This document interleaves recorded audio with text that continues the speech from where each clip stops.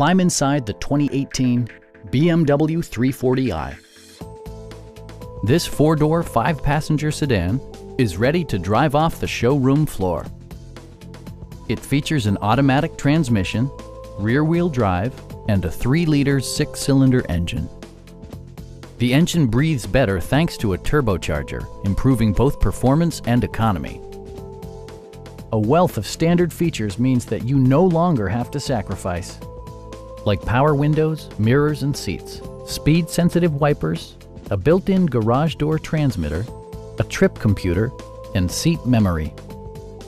The unique heads-up display projects vehicle information onto the windshield, including speed, gear selection, and engine speed. Drivers benefit by not having to take their eyes off the road. BMW also prioritized safety and security with features such as anti-whiplash front head restraints, a panic alarm, and four-wheel disc brakes with ABS. Various mechanical systems are monitored by electronic stability control, keeping you on your intended path.